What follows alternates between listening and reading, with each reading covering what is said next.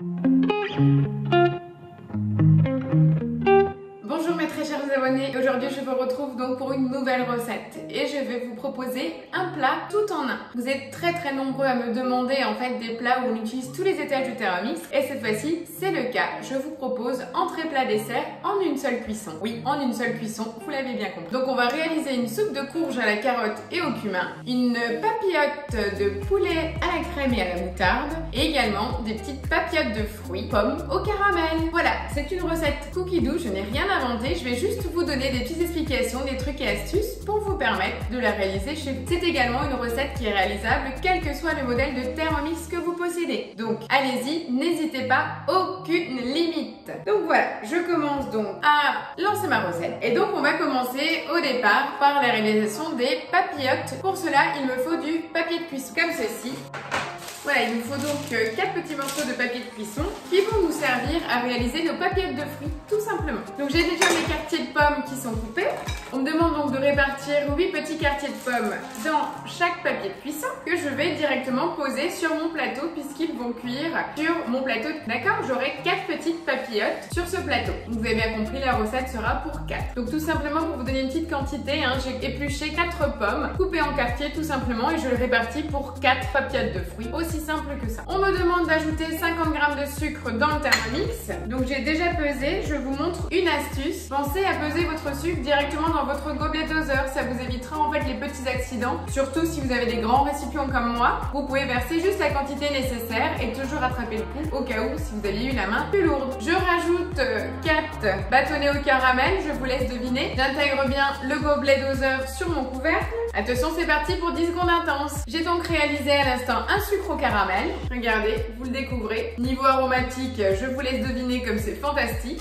Et là, tout simplement, je vais prendre une cuillère et je vais répartir le sucre au caramel sur l'ensemble de mes quartiers de pommes avant de refermer ma papillote et de les disposer sur mon plateau vapeur. Je vous montre le pliage pour la papillote peut-être. Donc le mieux, vous repliez un tiers de votre papier sur les fruits. Je rabats les bords de chaque côté. Et là, la grande partie de mon film, je replie sur le dessus et j'englobe le tout. Voilà. Après, chacune sa technique. Hein. L'essentiel, c'est que vous puissiez conserver le jus que le fruit va tirer lors de la cuisson dans votre papillote et qui va se mélanger avec notre sucre au caramel. Voilà, mon plateau avec mes quatre papillotes est prêt. Maintenant, sans nettoyer mon bol, bien sûr, je continue l'étape puisqu'on va encore faire une pâte à crumble que je vais faire dorer au four le temps de ma multi-cuisson et que je vais également pouvoir saupoudrer à la sortie de cuisson sur mes papillotes. Donc je ne rince pas mon bol, il y a encore du sucre au caramel, mais ça, ça ne fera que aromatiser de façon très sympathique le crumble. Je préchauffe mon four à 180 degrés en chaleur tournante et je continue. On rajoute 80 g de farine, je rajoute du sucre, du beurre, demi-sel. Bien sûr, je ferme mon couvercle. Voilà, donc la pâte à crumble a juste été mélangée pendant 10 secondes. Je vais maintenant bien racler mon bol,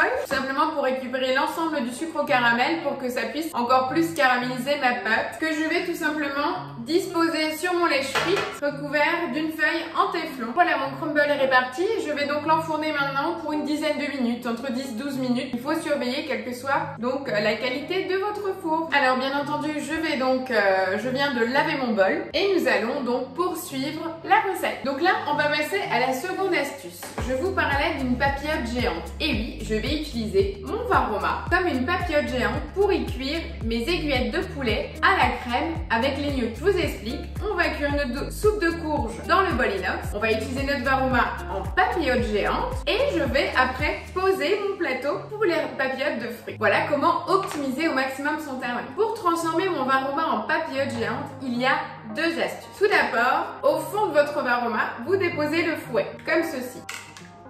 Tout simplement avant d'y mettre votre feuille de papier cuisson. Pourquoi? Puisque le poulet, quand il va cuire, il risque de coaguler et de ce fait d'obstruer l'ensemble des petits trous présents au fond de notre varoma où la vapeur va pouvoir passer et répartir la cuisson. Donc, pour éviter cela, on vous conseille d'y apposer votre fouet. Vous posez après une feuille de papier cuisson. Vous avez vu, la mienne, elle a pris la forme du varoma. Comment j'ai fait alors je vous rassure, j'ai du papier cuisson comme vous en rouleau. Seulement, vous ouvrez la feuille à la dimension qu'il vous faut. Vous la mettez en boule, vous allez la mouiller sous l'eau et après vous l'étalez sur les parois de votre varoma, ce qui vous permet qu'au séchage, ça vous donne à peu près cette forme-là. Je la repositionne donc dans mon varoma et maintenant je vais apposer l'ensemble des ingrédients dans ma papillote géante. Et en même temps, vous allez vous dire, mais attends, je fais une soupe, je fais une papillote de poulet et une papillote de fruits, tout en un mais les odeurs, ben, je vous rassure, le papier cuisson va stopper les odeurs, mais ne va pas stopper la répartition de la vapeur, ce qui nous permet d'avoir une cuisson optimum et pas d'échange de saveur. On est au top, non Donc on nous demande de rajouter les aiguillettes de poulet que j'ai tout simplement découpées en format bouché. Une petite astuce maison aussi, j'ai réparti une cuillère à soupe de moutarde à l'ancienne, la moutarde à grains, pour donner une saveur supplémentaire à mon poulet. Donc je verse le tout dans mon varoma, à savoir que moi j'ai 450 g de poulet. Je répartis le tout. On peut rajouter également les champignons. Alors à savoir que nous on consomme très peu de champignons, donc pour faire plaisir à tout le monde, je les ai retirés. Donc libre à vous d'en mettre ou non. Vous voyez bien que ce n'est pas bloquant. Pensez bien à saler poivrer votre poulet. Je vais également rajouter mes gnocchis. Puis on nous demande d'assaisonner. La sauce, je vous disais, c'est une sauce crème moutarde. Donc moi je vais utiliser mon pot de moutarde dans lequel j'ai directement mis ma crème pour l'utiliser comme un shaker. Donc je vais tout simplement vemos. Verser donc la totalité sur mon varoma. On est bien d'accord qu'à la cuisson, la crème va devenir plus liquide. Donc maintenant que je viens de verser l'ensemble donc de ma crème et de ma moutarde, je vais refermer ma papillote comme ceci. Voilà, donc ça reste bien fermé. J'ai encore au moins 5 cm d'épaisseur, donc je peux tranquillement poser mon plateau avec mes papillotes de fruits. Mon varoma est donc prêt. Je n'ai plus qu'à préparer la base de mon velouté qui va donner la vapeur pour répartir la cuisson sur l'ensemble des étages. Alors jusque là, c'est facile, non? Et ça nous remplace trois casseroles. Entrée, plat et dessert, tout en un, en une demi-heure de cuisson. Moi, je vous dis franchement, c'est un jeu d'enfant optimisé au maximum. C'est une recette de saison. Donc voilà, mes carottes et mon potiron déjà prédécoupés. Donc on nous demande 300 g de courge butternut. Donc vous voyez, moi j'ai mis du potimarron, c'est ce que j'ai, ça ne changera pas grand-chose. Et 300 g de carottes, hein. donc il nous faut 600 g de légumes. On insère le couvercle et le gobelet doseur puisqu'on va hacher pendant 5 secondes juste pour faire retomber la matière. Regardez, c'est pas beau cette belle couleur? C'est automnal, mais ça reste coloré. On continue, on demande un bouillon de légumes. Donc je vous rappelle, hein, la petite recette de bouillon de légumes se retrouve un peu plus bas sur ma chaîne YouTube. N'hésitez pas, faites-la, vous êtes tranquille pour tout l'hiver. Donc moi je suis très généreuse, je vais mettre une très grosse cuillère parce que je n'ai pas d'autre sel. On nous demande donc de rajouter 800 g d'eau et également une cuillère de cumin en poudre. On nous demande maintenant de poser notre varoma. Donc je vous rappelle, notre papillette géante de poulet à la crème, moutarde, gnocchi et champignons si l'on souhaite. Et notre plateau avec nos papillotes de fruits pommes, sucre caramel.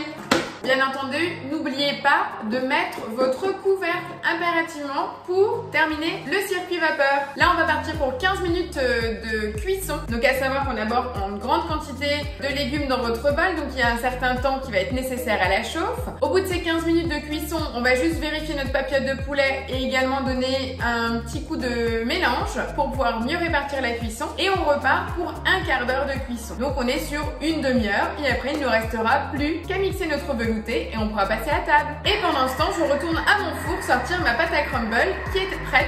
Au niveau de l'odeur, je le sens. Voilà, notre demi-heure de cuisson vient de se terminer, donc je vais découvrir avec vous le résultat de nos papillotes. Donc pensez bien toujours à utiliser votre couvercle hein, pour euh, poser sous le dessous du verre romain puisque la vapeur va retomber. Et je vais également regarder l'état de la cuisson de mon poulet. Et eh ben c'est plutôt magique. Mmh, une superbe odeur, les gnocchis sont fondants à souhait. Top. Eh ben il nous plus qu'une étape, c'est mixer la soupe. Je vous fais une jolie présentation. Je vous mets une petite photo en commentaire de la vidéo. Et puis moi, je vous donne rendez-vous à la semaine prochaine. Et surtout, n'oubliez pas, likez la vidéo et surtout partagez parce que bien sûr avec cette période de confinement je compte sur vous aussi pour parler de moi autour de vous. N'hésitez pas si vous avez des suggestions de vidéos, je suis à votre écoute. Voilà j'espère vous avoir fait partager un petit moment agréable, une petite bulle de bonheur, un moment humain, un échange euh, pendant votre confinement. Voilà bah écoutez je pense bien à vous, prenez soin de vous, je reste à votre disposition et puis je vous dis à très vite pour la prochaine vidéo.